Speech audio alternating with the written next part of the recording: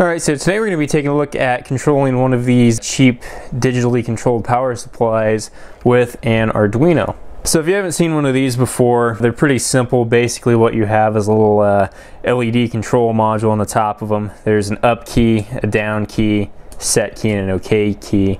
And what you can do is you can use the up and down arrows to set the voltage and current limits. Then off to the side here, we've got three LEDs. One shows that it's in constant voltage mode, one shows that it's in constant current mode, and one of them shows that the output is on. Now, one interesting thing that I noted about this thing at one point is that there's actually a serial port down here. There's a little thing that's marked as UART, and then there's uh, TGR and V. And what I've done is just soldered a pin header into that so I can plug in an Arduino. When you set this up, the T pin goes into the transmit pin, which is kind of weird.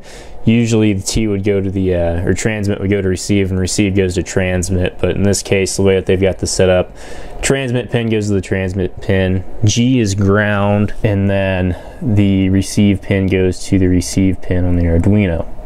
And the voltage pin, I believe, will provide 5 volts, but that's unnecessary. You just need to have the grounds connected together. Now, since we live in the age of the internet, I managed to go online and just find a library that actually allows you to control these power supplies with uh, pretty little effort, and I'll show you the code for that later, and also I'll put the link in the description to the library that you can go and download. All right, so I've got a little demonstration set up. I've got a section of LED strip this power supply, I'm using an Arduino Leonardo.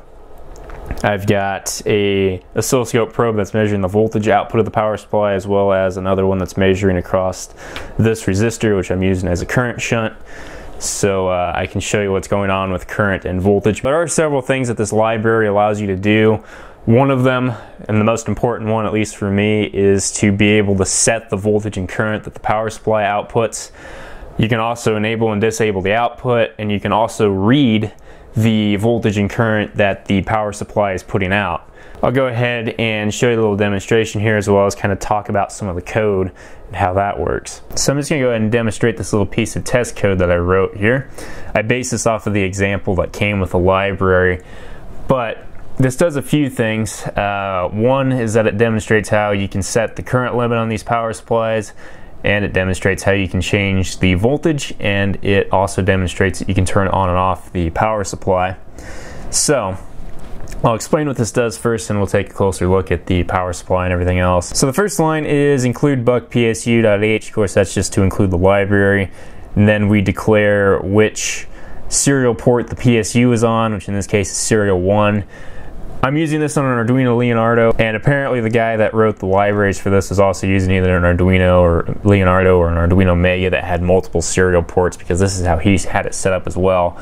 But on the Arduino Leonardo, the uh, the RX and TX pins uh, 1 and 0 on the board are a separate serial port from the one that the USB connector uses. So that gets declared as serial 1. This integer is the current limit, it's just a starting current limit.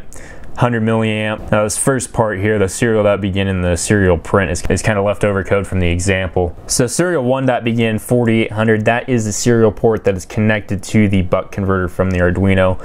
4800 baud is apparently just what these things run at, so you kind of have to have that there. And then this first thing, is PSU.set voltage. Uh, I start that at zero. Now I put a 100 millisecond delay in here because I noticed that if you don't put a 100 millisecond delay in there, it seems to not actually take the uh, current setting. So if you do put the delay in there, everything seems to work properly, but if you don't, sometimes it misses the commands. So put a delay in there, and then I put another delay and then just enable the PSU output then the void loop. So these two for loops basically just set up a simple fader for our LEDs. So we go from 7 volts up to 15 volts in 250 millivolt steps. Now this for loop will run up and then this for loop will run back from 15 volts down to 7 volts. And I'm going down to 7 volts because that's about when the LEDs turn off so there's no point in going any lower than that. I do want to note that this thing does not like it if you try to send it commands too quickly.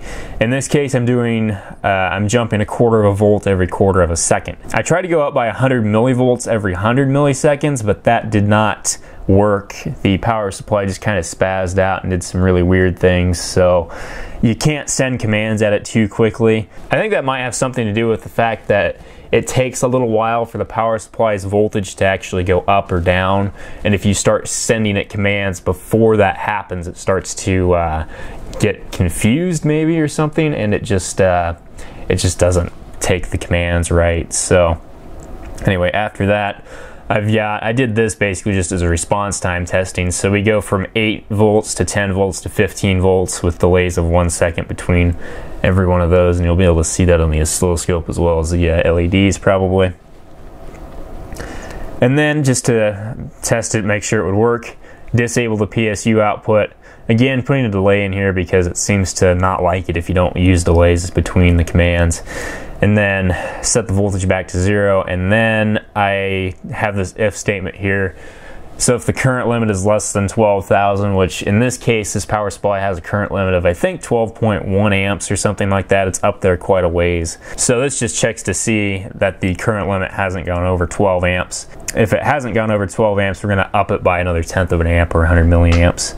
And then we set the current in milliamps to whatever the current amperage setting is.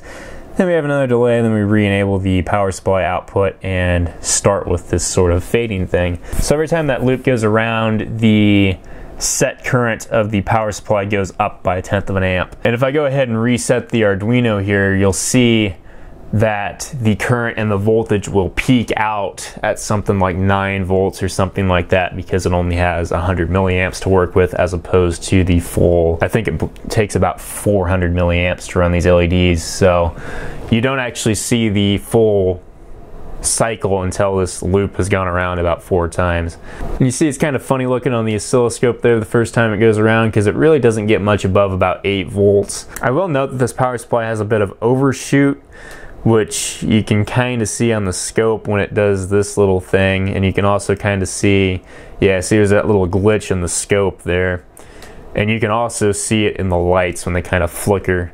So it seems like when you set some of the voltage points it tries to go for the voltage point first and then it kind of realizes that the current's gone too high and it backs off. Now I've never really noticed it doing that when you just use the controls on here though also I've never really used the controls on it that much and had oscilloscopes and everything set up to it. So the power supply seems to have a little bit of an overshoot error and that's probably a fault of the power supply, not just because we're running it through a serial port like this.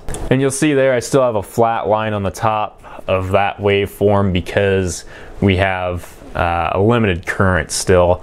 I believe that the next time this goes around, you'll be able to see the entire cycle though. So controlling a power supply like this, it seems to work fairly well.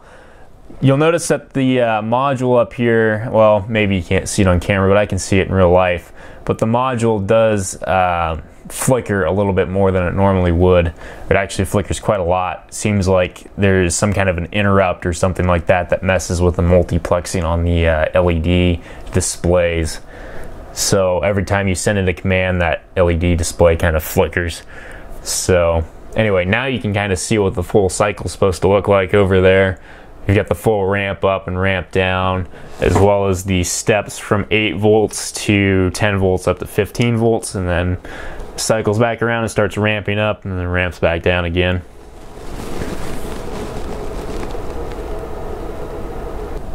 So I will also go ahead and show what the example code does. This is the entire thing. Essentially, it just sets the output voltage to 12 volts and it sets the uh, current to 100 milliamps, enables the output, and then it sends back through the serial monitor what the voltage and current is. So after this uploads, we can click on the serial monitor here.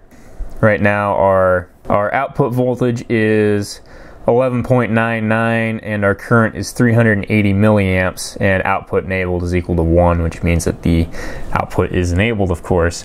Now as I think I mentioned earlier I found that if you don't have a delay in this it will not actually work so we'll put a 100 millisecond delay in between all of these. For some reason the enable output thing works but if you don't put the uh, delay between your set voltage and set current. It will not actually set the current limit. So if I do that and re-upload it, you'll see that this will uh, take the current limit into consideration as well. So we look at the serial monitor now. Our voltage is 9.18 and the current is 90 milliamps. So there we go. And you'll notice that it does line up with what's on the screen. So we've got 90 milliamps there. And if we look at the voltage, it's 9.21. Exactly the same as what this is showing. And again, we can of course change our current limit. So if I bring it back up to say half an amp, the voltage and current will change and those LEDs will get brighter again.